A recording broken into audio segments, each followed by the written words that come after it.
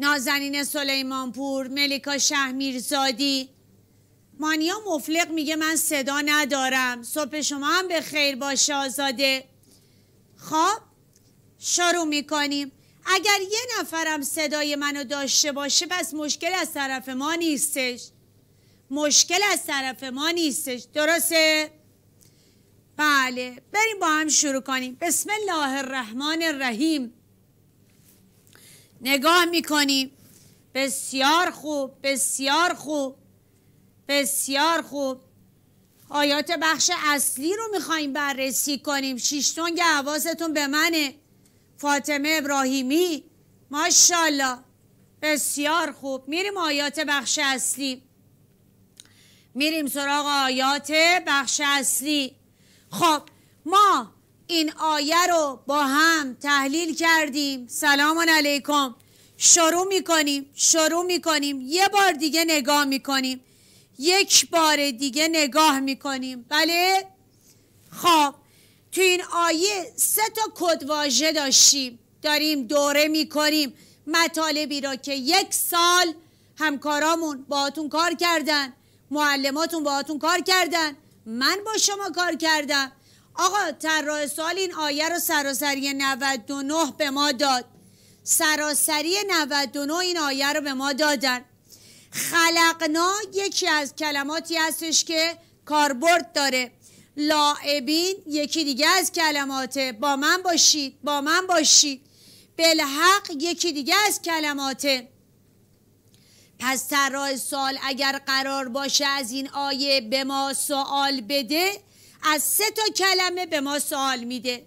خلقنا ضعیف اصل یوسفی. بله بله. خلقنا شما پیاماشو برای من بنویسید. خلقنا توحید در خالقیت خلقنا توحید در خالقیت توحید در خالقیت جهان بینی ما هستش. توحید در خالقیت جهان بینی توحیدی حواستون باشه. یعنی دیدگاه ما هستش. درسته؟ لاعبین لاعبین. به من بگید مربوط به ضرورت معاده یا امکان معاد؟ ماشاءالله ماشاءالله به بچه های خوبم. لاعبین ضرورت معاده. کان معاده.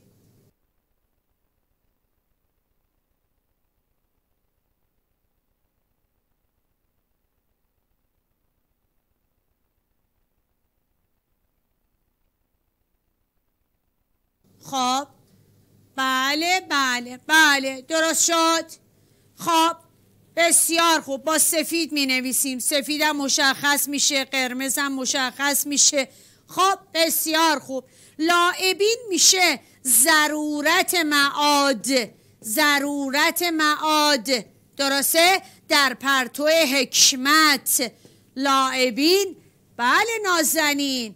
آفرین. داری با من میای جلو. من فعلا دارم آرام حرکت می‌کنم. تا اگر دانش آموزی خواب مونده بیدار بشه. تا اگر دانش آموزی خواب بیدار بشه. بسیار خوب. خلقنا توحید در خالقیت. جهانبینی توحیدی. ماشاءالله به بچه های خوبم. میایم. بالحق بالحق بالحق. امکان معاده یا ضرورت معاد؟ عدل یا حکمت؟ بالحق رو بگو به من ماشاءالله. بالحق میشه باز ضرورت حکمت. ضرورت حکمت. پس من داخل این آیه چه نکاتی رو دیدم؟ سری جمعش کن. تمرکز کن سری جمعش کن. بودو فاطمه شیر ژیان. شیشتونگ حواست به من باشه. بودو ماشاءالله دخترم. خلقنا شد. ماشاءالله نرگس ملکی. توحید در خالقیت. جهانبینی توحیدی. داریم سرعت رو می‌بریم بالا. لاعبین ضرورت حکمت. حق ضرورت حکمت. یادمون باشه چه کلماتی ضرورت حکمت بودن. چه کلماتی ضرورت حکمت هستن. یه بار با هم تدایی کنیم. حق حکیم ترجعون. راجعون مسیر مسیر بازگشت. ما ز بالاییم و بالا می رویم ما ز دریاییم و دریا می رویم جزها را رویها سوی کل است. درسته؟ جزها را رویها سوی کل است. بلبلان را عشق با روی گل است. درست شد؟ پس حواسمون باشه. آیه اول و من کامل فهمیدم. بریم پیاماشو ببینیم. بریم پیاما رو ببینیم. پیام اول ما. چی داره میگه پیام اول؟ نگاه کن جزوه رو داری. آفرین فاطمه آفرین. جزوه رو داری. جهان آفرینش بی هدف نیست. کلمه بی هدف رو مشخص کن. جهان آفرینش بی هدف نیست. بی هدف رو مشخص کن. بدو. بر اساس چی جهان آفرینش هر موجودی هر موجودی رو مشخص کن. هر موجودی نه فقط انسان نه فقط انسان. هر موجودی. اگر انسان بود غلطه. هر موجودی بر اساس برنامه حساب شده قدم گذاشته در جهان هستی به سمت هدف حکیمانه حرکت می‌کنه. به من بگید این آیه این آیه اگر از بالا نگاه کنیم بیانگر کدام توحید است؟ حکمت داره حکیم داره. بیانگر کدام توحیده؟ حکمت حکیم. منتظر جواب شما هستم. این آیه را از بالا نگاه می‌کنیم.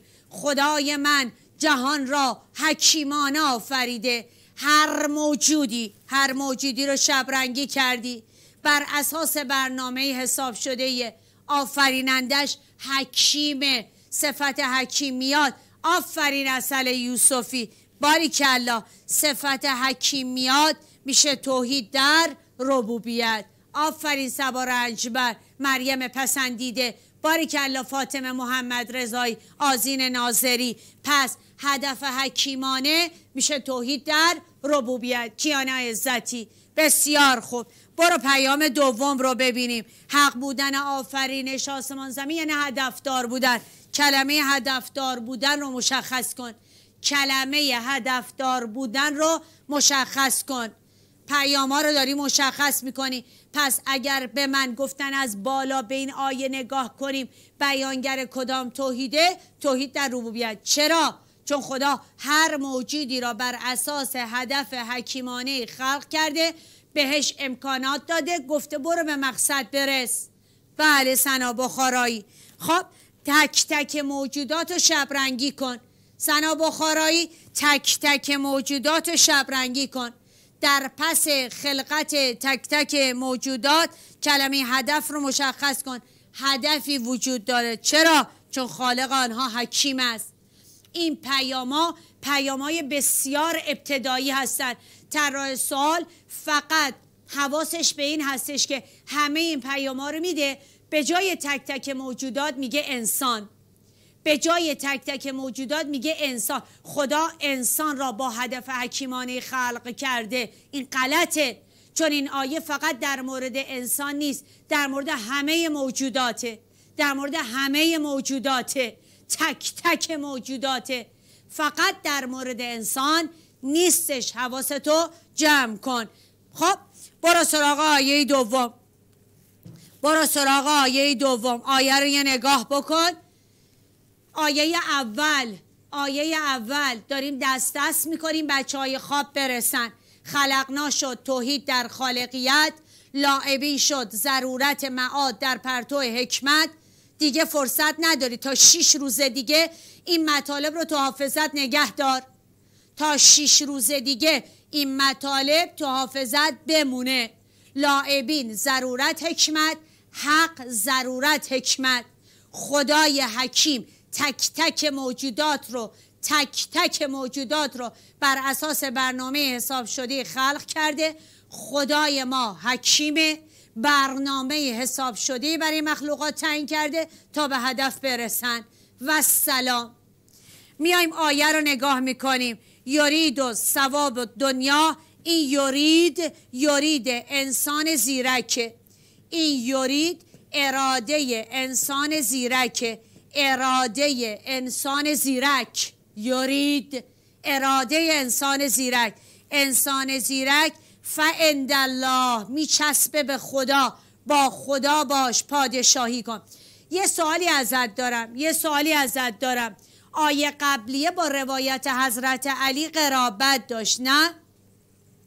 آیه قبلی خلقنا لاعبین بالحق با روایت حضرت علی علیه السلام قرابت داشت. حضرت علی چه فرموده در مورد آیه قبلی؟ حضرت علی علیه السلام در مورد آیه قبلی چه فرموده؟ من منتظر جواب شما هستم. حضرت علی در مورد این آیه چه فرمودن؟ فرمودن ما برای لحو لقو امور بیهوده و بیارزش خلق نشدیم. درست شد؟ پس حضرت علی علیه السلام در مورد این آیه چه فرمودن؟ فرمودن ما برای امور لحو لقو بی ارزش خلق نشدیم. آفرین. آفرین ملیکا. ای مردم هیچ کس بیهوده آفریده نشده. هیچ کس به حال خود واگذاشته نشده. آفرین. ماشاءالله. ماشاءالله به این بچه های خوبه. باریکلا نصرتی فاطمه آیدا ملیکا. ماشاءالله. هیچ کس بیهوده آفریده نشده. برای امور لحو و لقو و بی ارزش خلق نشده. پس روایت حضرت علی با آیه اول ما قرابت داره. لحو لقو امور بی ارزش بیهوده. خلق نشدیم آفرین آفرین. ماشاءالله. رسیدیم به این آیه. گفتیم یورید میشه اراده انسان زیرک. کل آیه ها رو می‌خوایم زیر و رو کنیم. یارید متا با سرعت بالاتر. هی من دست دست می‌کنم. بیدار شی بیدار شی. یارید اراده انسان زیرک. انسان زیرک فعند الله فعند الله. چون که صدامد نودم پیش ماست. چون که صدامد نودم پیش ماست. بچسبم به خدا هم دنیا رو دارم هم آخرت رو دارم. بچسبم به خدا هم دنیا رو دارم هم آخرت رو دارم. با خدا باش پادشاهی کن. چون که صدامت نودم پیش ماست. با یک تیر چند نشان زدن. با یک تیر چند نشان زدن. درست شد؟ آفرین آفرین به دخترای خوبم. آفرین به پسرای خوبم. ماشاءالله. بله با شعر شکرساز قمرساز. قرابت دارد. خوبی قمر بهتر یا آن که قمر سازد. خوبی شکر بهتر یا آن که شکر سازد. درسته؟ بله آفرین آفرین. ماشاءالله. بریم پیاماش رو ببینیم. بریم پیاما رو ببینیم. کلمه زیرک رو مشخص کن. بله همایش ضبط میشه. بله نازنین همایش ضبط میشه. کلمه زیرک رو مشخص کن. افراد زیرک. کلمه اصلی رو مشخص کن. خدا هدف اصلیشونه نه هدف فرعی. کلمه مادی رو مشخص کن کلمه معنوی رو مشخص کن. پس نگاه می‌کنیم. یه بار دیگه. یارید اراده انسان زیرک. اند الله چون که صدا آمد نودن پیش ماست. با یک تیر چند نشان زدن. با یک تیر چند نشان زدن. چون که صدا آمد نودن پیش ماست. قمر ساز شکر ساز کنایه از خداست. خوبی قمر بهتر یا آنکه قمر سازد قطعا قمر ساز بهتره. فعند الله بچسبم به خدا به عنوان هدف اصلی هم دنیا رو دارم هم آخرت رو. علت اینکه یکم مطالب رو توضیح میدیم چون دانش آموزایی داریم. از شهرستان ها توی امروز در واقع در این همایش که خیلی پایه رو خوب کار نکردن. به خاطر همین ما تکرار می‌کنیم برای این عزیزان که اولین بار ممکنه این آیات رو ببینن و پیامای این آیه براشون مهم باشه. درست شد؟ پس کلمه زیرک رو مشخص کردیم کلمه اصلی رو مشخص کردیم کلمه مادی و کلمه معنوی. خدا هدف اصلی ماست اصلی. هم دنیا رو داریم امور مادی هم امور معنوی رو داریم. بسیار خوب بسیار خوب. خب میایم. افراد زیرک این پیام قویه سبا رنجبر این پیام پیام قوی هستش پیام دوم. تمام و مشخص کن تمام تمام. افراد زیرک تمام تمام کارهای اخروی یا دنیوی تمام کارهای دنیویشونو نه اخروی. همه کارهای دنیویشونو در جهت رضای خدا دارن. پس پس جان جان و دل خودشون رو به خدا نزدیک من تو جا خالی بریم جان و دل. جان و دل. کسی که تمام کارای دنیویش دنیویش کارای دنیویش خوردن خوابیدن پوشیدن راه رفتن نگاه کردن درس دادن درس خوندن کسب و کارش. تمام کارهای دنیویش برای خدا باشه یعنی داره جان و دلش رو به خدا نزدیک می‌کنه و آخرت خود را زیباتر می‌کنه. جاخالی اول دوم جان و دل. آفرین آیدا. همون اخلاصه. و آخرتش رو زیبا می‌کنه. پس این آیه پیام دومش محکمه. پیام دومش برامون اهمیتش سبا بالاتره. بله همون توید عملی فردیه. آفرین آفرین به دخترای خوبم. ماشاءالله داریم آیات بخش اصلی رو بررسی می‌کنیم. پیام دوم مهمه توید عملی فردیه. افراد زیرک تمام تمام تمام. تمام کارای دنیویشون نه اخروی. دنیویشون برای رضای خداست یعنی اخلاص در بندگی جان و دلشون رو به خدا نزدیک می‌کنن. دیگه وقت نداری یا؟ شیش روزه دیگه کنکور داری؟ بیدار شو. جان و دلشون رو به خدا نزدیک می‌کنن آخرتشون رو زیبا می‌کنن. انتخاب خدا به عنوان هدف هستی زامن خوشبختیشونه. زامن خوشبختیشونه. همت بالا می‌خواد. با تنبلی نمیشه به خدا رسید. همت بالا می‌خواهد. کوهنوردی که می‌خواد بره بالا. قواسی که می‌خواد مرواریت ها رو از اعماق و اقیانوس به دست بیاره. حکم این انسان فعند الله رو داره. پس زامن خوشبختی انتخاب خدا. پس ما تا اینجا دو تا از آیات اصلی رو بررسی کردیم. خوب احمدی منصوره احمدی خوبه. بسیار خوب. خب بسیار خوب بسیار خوب. حواسا هست؟ بله. خب پس ما آیه اول رو دیدیم. آیه دوم رو دیدیم. آیه دوم پیام دومش مهمتر بود. برو سراغ آیه سوم. برو سراغ آیه سوم. می‌شناسین آیه رو. می‌شناسین آیه رو. انا هدیناه السبیل اما شاکرا اما کفورا. عجب آیه عجب آیه این آیه. انا هدیناه السبیل اما شاکرا و اما کفورا. به من بگید ببینم اختیار تقدیر است یا قضا؟ انا هدیناه السبیل. این قسمتشو بنویس توحید در ربوبیت. توحید در ربوبیت. آفرین آفرین. انا هدیناه السبیل. میشه توحید در ربوبیت. توحید در ربوبیت. انا هدیناه السبیل. خدا اراده کرده 124 هزار پیامبر فرستاده و گفته برید هدایت بشید. بله.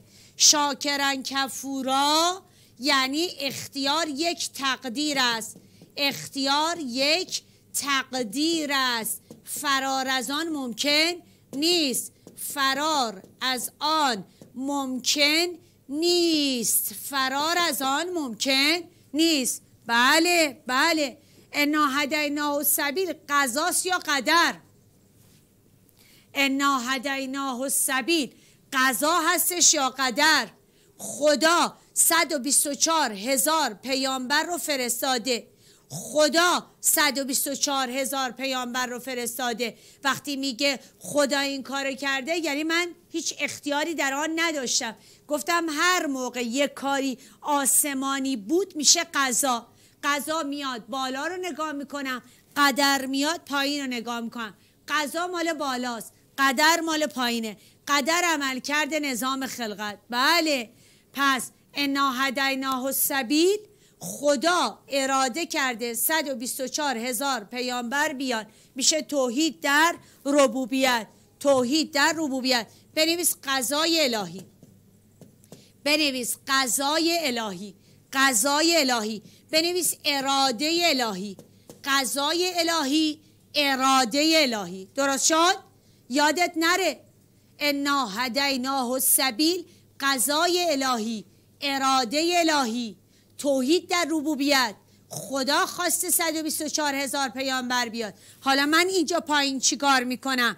اختیار یک تقدیر است. اختیار یه اندازه است. یه مقداره. یه ویژگی تعریف شده است. من با اختیار می‌تونم برم سراغ این چیزی که خدا فرستاده. یا شاکر بشم شکرگزار یا ناسپاس بشم. کفورا. به من بگیر این جمله درسته یا نه؟ اختیار یک امر عقلی است. آیا اختیار یک امر عقلی است؟ اختیار یک امر عقلی است. آیا این جمله درسته؟ اختیار یک امر عقلی است. بله. آفرین آفرین. این جمله غلطه. اختیار یک امر عقلی نیستش. این جمله غلطه. این جمله غلطه. اختیار یک امر فطریه. بنویس. اختیار یک امر فطریه. اختیار یک امر وجدانیه. اختیار یک امر درونیه. اختیار یک امر مستقیمه. یه امر بیواسطه است. بدون واسطه هر کس آفرین آفرین. در درون خودش پیدا می‌کنه. پس یه بار دیگه یک بار دیگه. انا هدیناه سبیل توحید در ربوبیت قضای الهی اراده الهی. خدا اراده کرده 124 هزار پیامبر بیان ما را هدایت کنن. قضای الهی توحید در ربوبیت. شاکرن کفورا. اختیار یه تقدیره.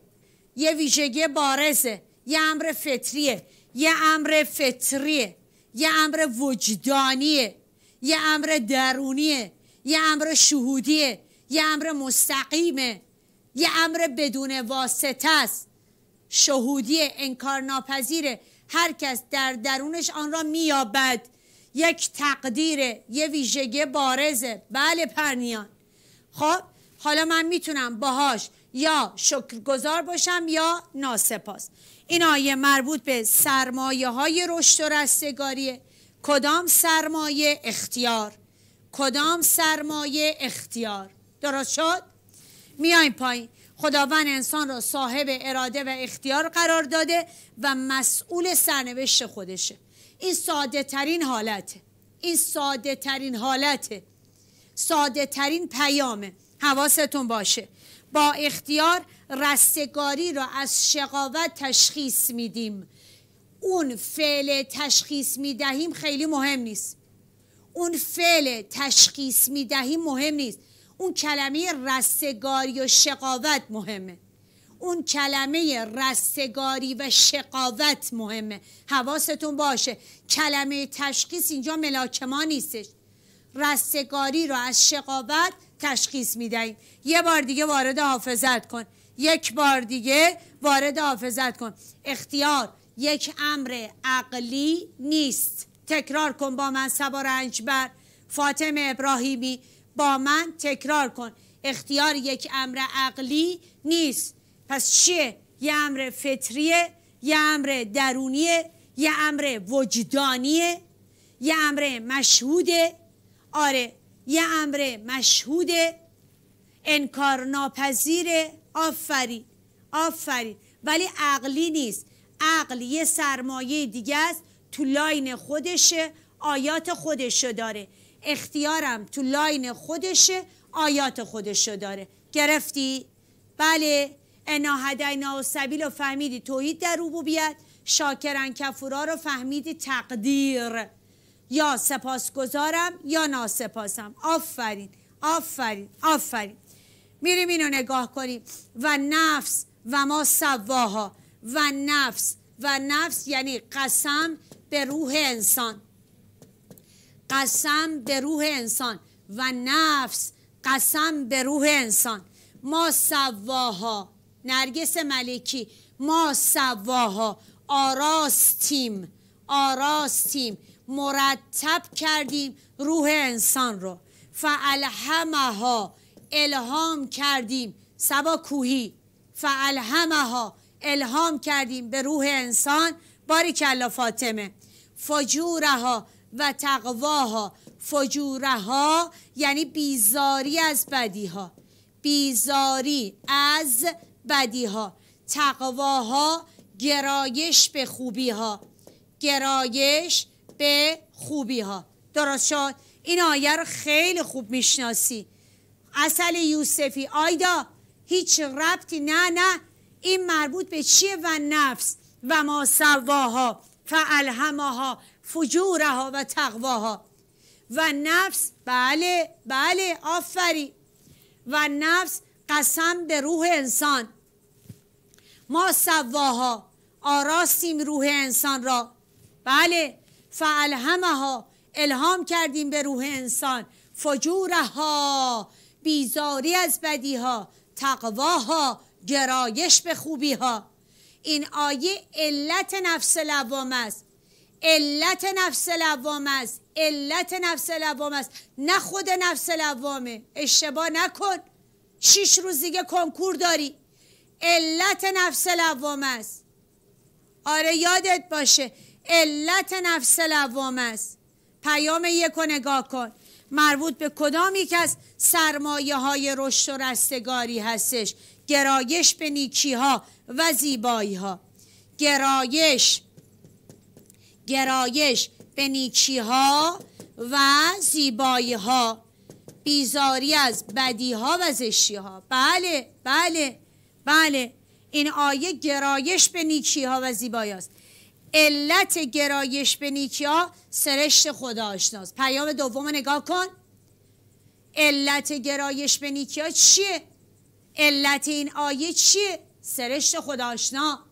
خدا آشنا خدا گرا خدا آشنا خدا گرا خدا پرست. اول خدا را می‌شناسم بعد گرایش پیدا می‌کنم به سمت خدا بعد او را میپرستم. خدا آشنا خدا گرا خدا پرست. علت این آیه است. چرا من گرایش به نیکیا دارم؟ چون سرشت خدا آشنا دارم. چون سرشت خدا آشنا دارم. آفرین. معلول گرایش به نیکی ها و زیبایی ها چیه؟ نفس لوام است. یعنی از دل این آیه چی خارج میشه؟ از دل این آیه نفس لوامه خارج میشه. از دل این آیه نفس لوامه خارج میشه. چرا من بعد از گناه واکنش نشون میدم؟ چرا بعد از گناه ناراحت میشم؟ چرا بعد از گناه عکس عمل نشون میدم؟ به خاطر این آیه است. گرایش به نیکی ها و زیبایی ها چرا من گرایش به نیکی ها و زیبایی ها دارم؟ به خاطر سرشت خدا آشنا. سرشت خدا آشنا. آفرین آفرین. پس ما داریم آیات بخش اصلی رو کار می‌کنیم. آیاتی که همه رقبای شما آن را می‌بینند می‌دانند. ممکنه فراموش کرده باشند همه رو تکرار می‌کنیم. چه بلد باشی چه بلد نباشی. پس این آیه علت نفس لوام است. علت نفس لوام است. علت خدا آیه چیه؟ قبل از این آیه چی میاد؟ سرشت خدا آشنا. سرشت خدا آشنا.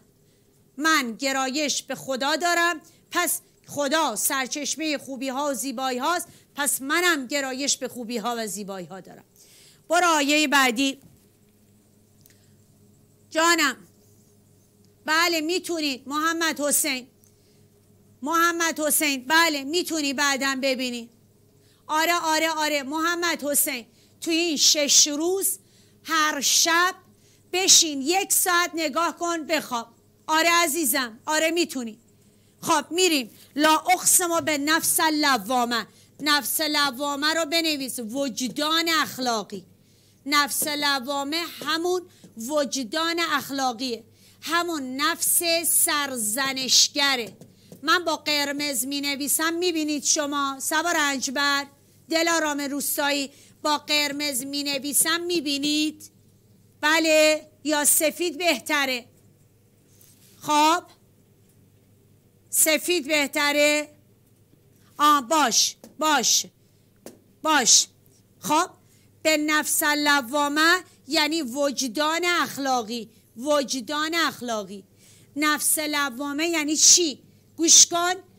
نفس لوامه سه تا کلمه. یعنی من بعد از گناه واکنش نشون میدم. خودم رو سرزنش می‌کنم. سرزنش می‌کنم بعد در صدد جبرانم این میشه تعریف نفس لوامه. یه بار دیگه آیه آیه نفس لوامه است. آیه وجدان اخلاقیه. حواستون باشه. معلول گرایش به نیکیاست این آیه معلول گرایش به نیکیاست پس گرایش به نیکیا علته. علت این آیه گرایش به نیکیاست این معلوله. خب نفس لوامه یعنی چی؟ یعنی این سه کلمه. این سه کلمه یعنی نفس لوامه. بیداری یا نه؟ بیداری. تا آب بزن یه نسکافه بخور با من تا ساعت چهار باش. بد استراحت میدم. وجدان اخلاقی. بعد از گناه واکنش نشون میدیم. خودمون رو سرزنش می‌کنیم. در صدد جبران برمیاییم. ترتیبش مهمه. اول واکنش نشون میدم. واکنش نشون میدم بعد از گناه. بعد خودم رو سرزنش می‌کنم سرزنش می‌کنم بعد در صدد جبران برمیام. این میشه نفس لوامه. نگاه می‌کنیم. این آیه مربوط به کدامی که از سرمایه های رشد و رستگاریه؟ آفرین سنا آفرین سبا. کدام سرمایه است؟ الان گفتیم وجدان اخلاقی نفس لوامه. وجدان اخلاقی نفس لوامه. امروز میریم جلو حالا حواست به درس باشه. گرایش به نیکی ها رو بالاش بنویس علت. گرایش به نیکی ها علت. واکنش معلول واکنش معلول.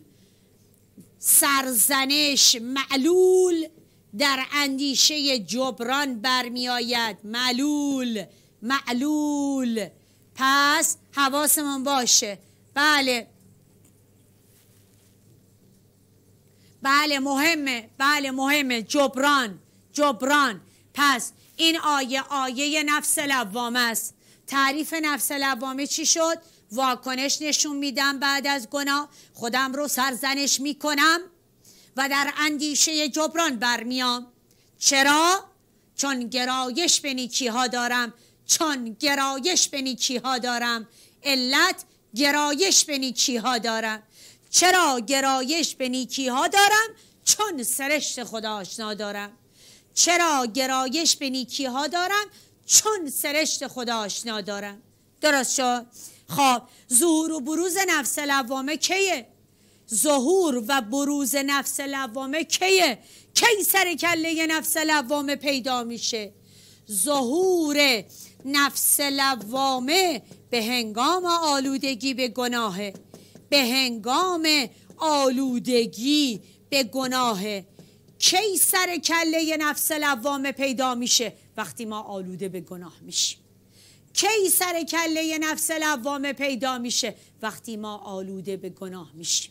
وقتی ما آلوده به گناه میشیم سر کله نفس لوامه پیدا میشه. هنگام آلودگی به گناه. بله؟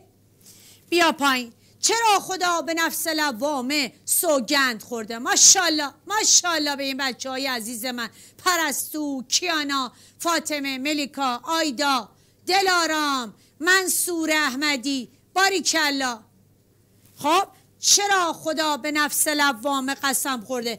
به دلیل عظمت و جایگاهش. به دلیل عظمت و جایگاهش.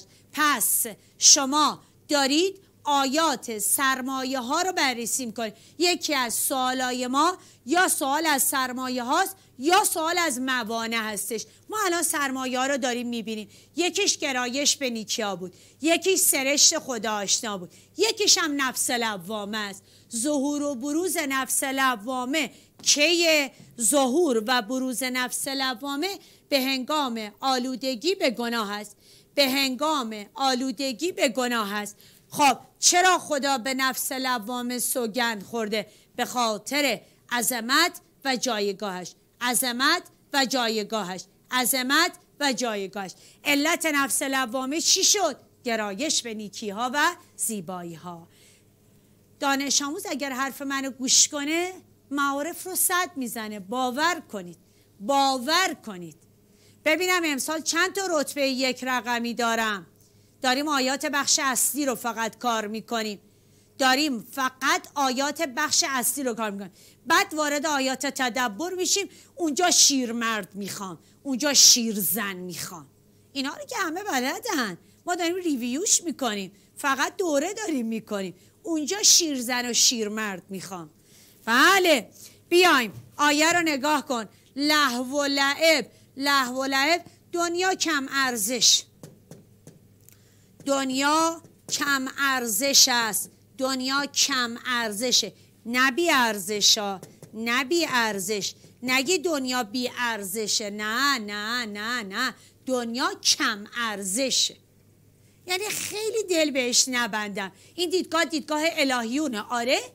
آره این آیه دیدگاه الهیونه. این آیه دیدگاه الهیونه. الهیون میگن دنیا کم ارزشه. به عنوان هدف اصلی نباشه. اما شالا بعد حیوان حیوان. آخرت جاویدانه. آخرت جاویدانه. ابدی باقیه. آره حیوان جاویدانه. ابدی باقیه. عزیز دل من لحو و لعبو که همه بلدن. حیوانو که همه بلدن. پس چی رو بلد نیستن؟ از این آیه چی رو بلد نیستن؟ این یه تیکه رو. شرط. این شرط آیه است. این شرط آیه است. کیا دنیا رو هدف اصلی قرار نمیدن؟ کیا آخرت رو هدف اصلی قرار میدن؟ لا کانو یعلمون. لا کانو یعلمون. اگر بدانند اگر بدانند اگر بدانند. آفرین. آفرین مبینا. ماشاءالله زهرا نوراللهی. ماشاءالله ماشاءالله اصل یوسفی. باری کلا به این خانوما و پسرای خوبم. آفرین. پس لحو و لعب دنیا کم ارزش است. دنیا کم ارزش است. دیدگاه ملکوتی. دیدگاه ملکوتی داریم. دیدگاه الهی داریم. دنیا کم ارزشه نبی ارزش. آخرت جاویدانه. آخرت جاویدانه. جاویدان ابدی و باقیه پیامبر فرمودن ما برای بقا آمدیم. ما برای بقا آمدیم نه برای فنا و نابودی. مرگ ما را از یه عالم به عالم دیگر منتقل می‌کنه. حیوان ما برای بقا آمدیم. باقی ما برای بقا آمدیم. نه برای فنا و نابودی. مرگ ما رو از یک عالم به عالم دیگر منتقل می‌کنه. شرط داره تا این آیه رو بفهمم. اگر انسان ها بدانند یعنی درک کنن یعنی ایمان قلبی اگر بدانن دانستنشون در درونشون نفوذ بکنه. نه دانستن ظاهری. لا کونو یعلمون. اگر بدانن عمیقا. خب پیام یک رو نگاه کن. این آیه بر کم ارزش بودن زندگی دنیاوی. کم ارزش رو وصل کن به دنیاوی. زندگی دنیا کم ارزشه. حقیقی رو وصل کن به آخرت. و آخرت حقیقیه. همونی که ما گفتیم. نخوندی هم نخوندی. اونی که الان میشنوی رو یاد بگیر. خب پیام دوم. این آیه با سه تا حدیث قرابت داره. با سه حدیث از پیامبر قرابت داره. ما برای نابودی و فنا نیامدیم. ما برای بقا آمدیم. این اولویت اول. اولویت اول. یعنی اولین ارتباط این آیه با این حدیثه. اولین ارتباط این آیه با این حدیثه. یعنی اگر من این سه تا حدیث رو داشتم این حدیث رو انتخاب می‌کنم برای اولویت اولم. ما برای فنا و نابودی نیامدیم. ما برای بقا آمدیم. مرگ ما را از این دنیا به دنیای دیگر منتقل می‌کنن این اولویت اوله. مورد دوم باهوشترین مؤمنان. باهوشترین مؤمنان از دیدگاه پیامبر کیا هستن؟ اونایی که آفرین آفرین. فراوان به یاد مرگن. بهتر از دیگران خودشونو برای مرگ آماده می‌کنن. فراوان به یاد مرگن. بهتر از دیگران خودشونو برای مرگ آماده می‌کنن. آماشالا آماشالا بیشه به من بگید زیرکترین انسان کیه؟ از دیدگاه حضرت علی. زیرکترین انسان از دیدگاه حضرت علی علیه السلام چه کسی هستش؟ زیرکترین انسان. با باهوشترین مؤمنان فرق داره. ابو یه آب برای من بیار. خب زیرکترین انسان. بله بله آفرین. دا زیرکترین انسان. آفرین کیانا حسینی. کلا خب خوبه اصل یوسفی. خوب آفرین. کسی که از خودش و عملش برای قیامت حساب می‌کشه این زیرکترین انسان از دیدگاه حضرت علی علیه السلامه. کسی که از خود و عمل خود برای قیامت حسابرسی می کند کسی که از خود و عمل خود برای قیامت حسابرسی می کند بله زیرکترین انسان از دیدگاه حضرت علی علیه السلام کیست؟ نه باهوشترین مؤمنان. باهوشترین مؤمنان روایت پیامبره که گفتید الان شما. فراوان به یاد مرگن بهتر از دیگران خودشون رو برای مرگ آماده می‌کنن. من زیرکترین انسان رو می‌خوام از دیدگاه حضرت علی علیه السلام. زیرکترین انسان؟ بله زیرکترین انسان. کسی هستش که از خودش و عملش برای قیامت حسابرسی می کند از خودش و عملش برای قیامت حسابرسی می کند هر روز که شب میشه از خودش سوال می‌کنه امروز چه کردی؟ گرد غم از چهره کسی زدودی؟ عملی رو برای خدا انجام دادی؟ از خودت راضی هستی؟ گره مشکل کسی رو باز کردی؟ پس کسی که از خودش و عملش حساب بکشه زیرکترین انسانه زیرکترین انسانه. با باهوشترین مؤمنان پیامبر اشتباه نگیر. میریم شماره سه سومین روایت. نیام ما تو انتبهو. مردم در خوابن نیام. نیام مردم در خوابن. ما تو وقتی میمیرن انتبهو. بیدار می‌شوند. مردم در خوابند. حدیث پیامبر. وقتی میمیرند بیدار می‌شوند. بیدار می‌شوند. پس با این آیه آفرین آفرین نرگس آفرین فاطمه. باری کلا مبینا باری کلا پس این آیه یه بار دیگه تثبیتش کنیم رد شیم. تثبیت کنیم رد شیم. لحو لعب. زندگی دنیا کم ارزش است. دیدگاه ملکوتی داریم. زندگی آخرت باقی جاویدان ابدی شرط شرط آیه اگر انسان ها بدانن. اومدیم. با سه تا روایت قرابت داره. روایت اول در اولویت از پیامبر. ما برای بقا آمدیم نه برای فنا بودیم بعد روایت دوم. بله بله. باهوشترین مؤمنان کسانی هستند که فراوان به یاد مرگن و بهتر از دیگران خودشون رو برای مرگ آماده کنن باهوشترین مؤمنان رو با زیرکترین انسان اشتباه نگیریم. با زیرکترین انسان اشتباه نگیریم. زیرکترین انسان مال حضرت علیه. کسی که از خودش و عملش برای بعد از مرگ حساب رسی کند. درست شد؟ بسیار خوب. آیه رو نگاه کن. و روایت چی بود؟ کسی که بله بله مردم در خوابن. الناس نیام مردم در خوابن. مردم در خوابن وقتی میمیرن بیدار میشون تنبیه میشون مرگ نوعی تنبیه مرگ نوعی بیداریه. آفرین آفرین آفرین فاطمه. خب آیه رو نگاه کن. من آمن بالله علت و الاخر علت عمل صالحا علت لا خافون علیهم معلول ولا هم یحسنون معلول. من آمن بالله علت و الاخر علت عمل صالحا علت لا خافون علیهم معلول. ولا هم یحسنون معلول. درست شد؟ ایمان به خدا دارن توحید. ایمان به آخرت دارن. معاد. عمل صالح انجام میدن. نیکوکاری می‌کنن این وسط. نه ترسی دارن نه اندوهی. نه ترسی دارن نه اندوهی. ستا علت. آفرین. آفرین. این آیه هم دیدگاه الهیونه. این آیه هم دیدگاه الهیونه. آیه قبلی هم دیدگاه الهیون بود. حواست هست یا نه؟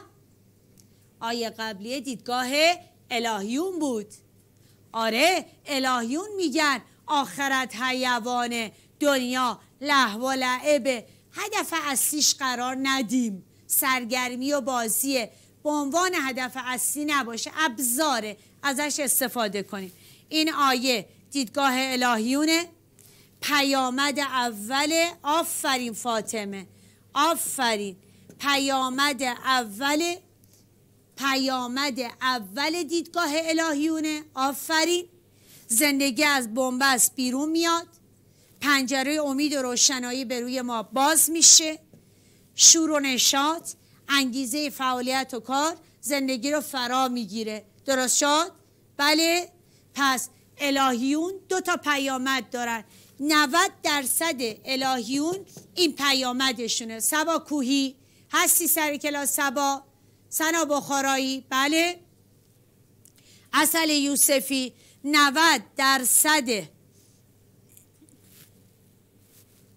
بله بله. 90 درصد الهیون این شکلی هستن. 90 درصد. حالا الهیونی داریم که ممکن اینا هم نداشته باشن. 90 درصد الهیون این شکلی هستن. درسته؟ بله. 90 درصد. شادابی و نشاد دارن. 90 درصد پنجره امید و روشنایی به روشون بازه. 90 درصد اهل کارن اهل نشاتن روحیه خستگی ناپذیر دارن. از کار لذت می‌برن. از کار لذت می‌برن. اونا معتقدن الهیون هیچ کاری از کارهای نیک اونها هیچ کارشون بدون پاداش نمیمونه. بنویس عدل الهی. عدل الهی. هیچ کدام از کارهای آنها بدون پاداش نمیماند. عدل الهی. دیگه چی میگن؟ دیگه چی میگن؟ اونا میگن اگر کار نیک انجام بدیم معلول خدمت کنیم به خلق خدا معلول آخرتمون رو زیباتر کردیم ملت چرا من باید کارای نیک انجام بدم؟ چرا من کار نیک انجام بدم؟ چرا خدمت کنم به خلق خدا؟ چرا؟ چرا عمل صالح انجام بدم؟ عمل صالح یعنی این. چرا من کار نیک انجام بدم؟ چرا من خدمت کنم به خلق خدا؟ چرا؟ چرا این کارا رو انجام بدم؟ آخرتم زیباتر بشه. آخرتم زیباتر بشه. آخرتم زیباتر بشه. درست شد؟ بله؟ پس این آیه آیه مهمیه. به من گوش کنید. من می‌تونم تیکه آخرش رو بچسبونم به روایت امام حسین. لا خافون علیهم ولا هم یحزنون می‌تونم بچسبونم به روایت امام حسین؟ بله. همین لا خافون علیهم ولا هم یحزنون. امام حسین نه ترسی داشتن نه اندوهی. شهادت طلبی کردن. شهادت طلبی کردن. یعنی چی؟ فرمودن مرگ با عزت بهتر از زندگی با ذلته از مرگ ترسی نداشتن. بله بله بله. با بله سباکوهی. باری کلا آزین ناظری. بله آفرین آوا. بنیان خطیب زاده زهرا منتظر نرگس ملکی. دقیقا. بسیار خوب. پس این آیه سه علت داره. دوتا معلول داره و ما این دو تیکه آخر رو می‌تونیم روایت امام حسین علیه السلام رو بگیم مربوط به اینجا هستش. امام حسین الهیونی بوده و از مرگم حراسی نداشته. ولی اصل آیه مربوط به پیامد اول دیدگاه الهیونه. اصل آیه مربوط به پیامد اول دیدگاه الهیونه. درست شد؟ و بعد گفتیم الهیون چرا شادابی و نشاد دارن؟ چون می‌دونن هیچ کدوم از کارهاشون بدون پاداش نمیمونه. هیچ کدوم از کارهاشون بدون پاداش نمیمونه. یعنی عدل یعنی عدل. زینب حاجی اسخر یعنی عدل. اومدیم پایین. کار نیک انجام میدن. چرا؟ خدمت می‌کنن به خلق خدا. چرا؟ تا آخرتشون زیباتر بشه. چرا کار نیک انجام میدن عمل صالح؟ چرا عمل ساره انجام میدن؟ چرا کار نیک؟ چرا خدمت می‌کنن به خلق خدا؟ تا آخرتشون زیباتر بشه. بسیار عالی. ماشاءالله. ماشاءالله به این بچه های خوده آفرین آفرین. خب برو سراغ آیه بعدی. تا اینجا چند تا آیه در مورد دیدگاه الهیون بررسی کردیم؟ چند تا آیه در مورد دیدگاه الهیون بررسی کردیم؟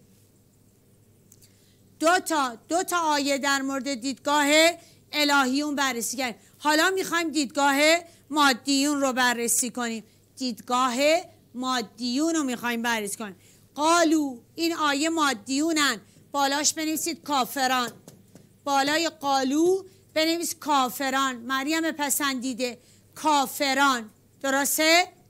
این آیه محتاب مهرانفر بله محتاب آفرین زهرا. بله. ما دو تا آیه در مورد الهیون گفتیم. حالا رسیدیم به آیه مادیون. عزیزای من عزیزای من آیه مادیون مهمه. آیه مادیون مهمه. من چجوری بگم بهتون؟ مادیون چی میگن؟ کافران چی میگن؟ زینب مبینا مبینا کریمی مادیون چی میگن؟ میگن نموت و نحیا. نموت و نحیا. میگن زندگی در تولد و مرگ خلاصه میشه. زندگی در تولد و مرگ خلاصه میشه.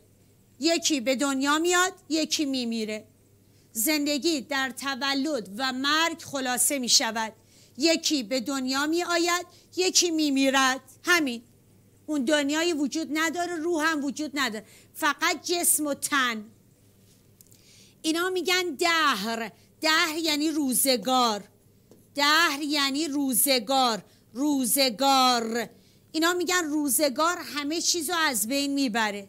روزگار همه چیزو از بین می‌بره. گذر زمان دهر گذر زمان. گذر زمان همه چیز رو از بین می‌بره. جسم و تن رو از بین می‌بره. به روح اعتقادی ندارن. کافران به روح اعتقادی ندارن. پس قالو این قالو کی هستش؟ کافرانه. نموت و نحیا نموت و نحیا. میگن زندگی در مرگ و تولد خلاصه می‌شود. در مرگ و تولد خلاصه میشن یکی به دنیا میاد یکی میمیره. یکی به دنیا میاد یکی میمیره. دهر گذر گذر زمان. بله گذر زمان. بعضی جاها هستن فاطمه. بستگی داره که اون منکر منکر چی باشه؟ الان این منکر خدا را قبول نداره آخرت رو قبول نداره. میگه همه چیز در اثر یه انفجار شکل گرفته. الان این منکری که تو این آیه هست خب خدا رو قبول نداره روح رو قبول نداره. آنچه را که نمی‌بیند را قبول نمی کند خدا را نمی‌بیند قبول نمی‌کنه. روح رو نمی‌بینه قبول نمی‌کنه. خب؟ خب؟ تست 99 کدوم تست 99 فاطمه الان اینجا جاش نیست. الان اینجا جاش نیستش. این آدم منکر خداست. درست فاطمه؟ این انسان منکر خداست. منکر خداست. بله بله بله. خب پس میایم دهر دهر. گذر زمان گذر زمان. روزگار جسم و تن را از بین می‌برد. اینا علم ندارن. کلمه علم رو مشخص کن. کلمه یزنون. بر اساس علم و سند حرف نمی‌زنن. بر اساس منطق حرف نمی‌زنن. محمد حسین رستگار هستی سر کلاس؟ کافران بر اساس علم سخن نمی‌گویند. کافران بر اساس منطق و سند حرف نمی‌زنن. یزنون خیال پردازن خیال پرداز هستن. یزنون خیال پردازن با حدس و گمان حرف می‌زنن. این آیه مربوط به دیدگاه مادیونه دنیای پس از مرگ و انکار می‌کنن. وجود خدا را انکار می‌کنن. اگر خدا را قبول داشته باشن روح هم قبول دارن. خدا را قبول داشته باشن معاد را هم قبول دارن. اونی که یه بت رو برداشته خدای خودش کرده معلومه که اون بت نمی‌تونه معاد رو بسازه. حکیمانه بودن نظام خلقت رو تضمین کنه. چون بته بت دستسازه. خب میایم اینا معتقدن جسم و تن نه جسم و روح. نه جسم و روح. روح و قبول ندارن. میگن جسم و تن از بین میره. جسم که نابود بشه پرونده بسته میشه. این پیامد انکار معاد برای این انسان چیه؟ برخلاف اون که گفتیم. 90 درصد مادیون این حالت رو دارن. 90 درصد مادیون این حالت رو دارن. یس و ناامیدی. بیماری های روحی. عدم شادابی. سرگردانی. کناره می‌گیرن از مردم. کناره می‌گیرن. انواع بیماری های روحی رو دارن. شادابی و نشاد ندارن. برای تسکین دردشون قدم در راههایی می‌ذارن که سرگردانتر میشن. برای تسکین دردشون قدم در راههایی می‌ذارن که سرگردانتر میشن. بله زندگی چند روزه براشون بیارزش میشه. به من بگید آیا اینا میل به جاودانگی دارن؟ فاطمه فاطمه آیا اینا آفرین دلارام آفرین زهرا مبینا آفرین احمدی آفرین آوا. بله اینا میل به جاودانگی دارن. منتها میل به جاودانگیشون رو نتونستن به طور کامل خفه کنن. میل به جاودانگی رو اینا نتونستن به طور کامل خفه کنن. از اون وسط مسط صدای میل به جاودانگی میاد. به خاطر همین دچار یأس و ناامیدی میشن. افسردگی می‌گیرن از مردم فاصله می‌گیرن. آفرین. سرکوب کردن ولی کامل نتونستن خفش کنن. اینا مادیونن. مادیون دسته دومن. درسته؟ دسته اول کامل خفه کردن میل به جاودانگی رو. دسته اول میل به جاودانگی رو خفه می‌کنن کامل. اصلا صداشو نمیشنون. راه قفلت رو در پیش می‌گیرن. مرگ و فراموش می‌کنن. برای اینکه آینده تلخ و فراموش کنن انقدر گناه می‌کنن که در گرداب آلودگی فرو میرن. ده درصد مادیون می‌تونن به طور کامل میل به جاودانگی رو فراموش کنن. ده درصد. ده درصد مادیون می‌تونن میل به جاودانگی رو کامل فراموش کنن. راه قفلت رو در پیش بگیرن. مرگ و کامل فراموش کنن. اونا در گرداب آلودگی فرو میرن. غرق در گناه میشن. بله. ولی این مادیون میل به جاودانگی رو نمی‌تونن کامل خفه کنن. اینا میل به جاودانگی رو نمی‌تونن کامل خفه کنن. یه صدایی بالاخره میاد اونا رو اذیت می‌کنه. من می‌خواهم بمانم. درست شد؟ و اونجا هستش که دچار یه دوگانگی بین درون و مکتب بیرونی میشه. حواستون باشه. این آیه این آیه بیشتر بله بله. این آیه بیشتر مربوط به پیامد دومه. این آیه بیشتر مربوط به این پیامده. آره بیشتر مربوط به این پیامده. یعنی آب روغن قاطی کردن بهانه میارن روزگار همه چیز از بین می‌بره. میری شروع کن به بهانه آوردن. بله ولی به صورت کلی مربوط به مادیونه. مربوط به مادیونه. بله بله بله. دقیقا آزاده.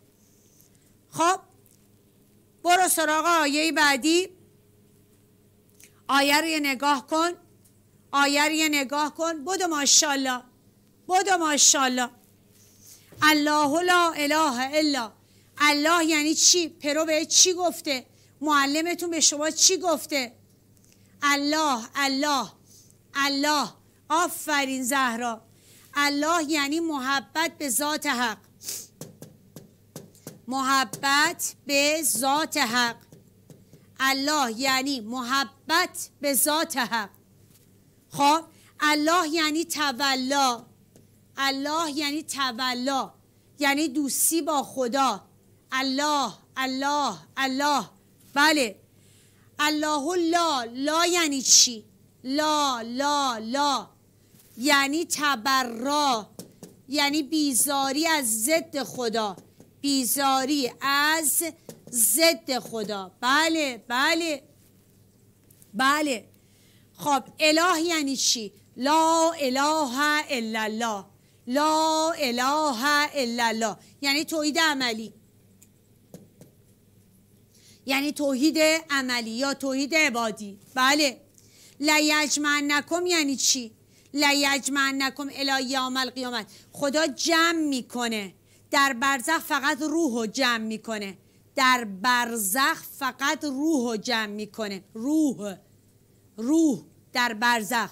ولی در قیامت کبرا معاد جسمانی به اضافه معاد روحانی هر دوتا رو جمع می‌کنه. لیجمعنکم. هم معاد جسمانیه هم معاد روحانیه آفرین. آفرین. الله محبت به ذات حق تولا. الله محبت به ذات حق تولا. میریم. لا لا لا. لا یعنی تبرا. تبرا. بیزاری از ضد خدا. بیزاری از ضد خدا. بله. اله اله.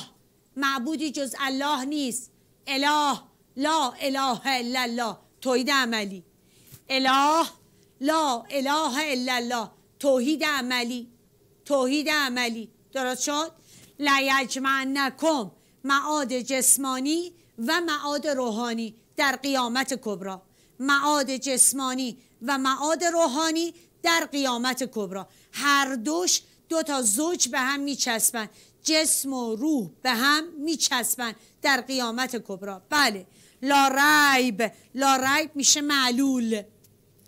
معلول. شکی در معاد نیست. شکی در معاد نیست. شکی در معاد نیست. لا ریب لا شکی در معاد نیست. چرا شکی در معاد نیست؟ من استق من الله علت چون خدا راستگوترین راستگویان است. چون خدا راستگوترین راستگویانه پارسال نزدیک پنجاه تا رتبه یک رقمی و دو رقمی داشتیم. امسال می‌خوام اسم شماها را داخل پیجم قرار بدم برای کنکور قرن چهارصد. بله امسال می‌خوام اسم شماها را قرار بدم. تک تک شما امسال باید اسمتون داخل پیج من تو این نستا باشه سراسری بشه. ببینم چه می‌کنید این شیش روز و بیدار باش. هر روز ساعت شیش. این شش روز هر روز ساعت شیش بیدار باش. وگرنه سر کنکور خوابی. چشت باز مقص خواب.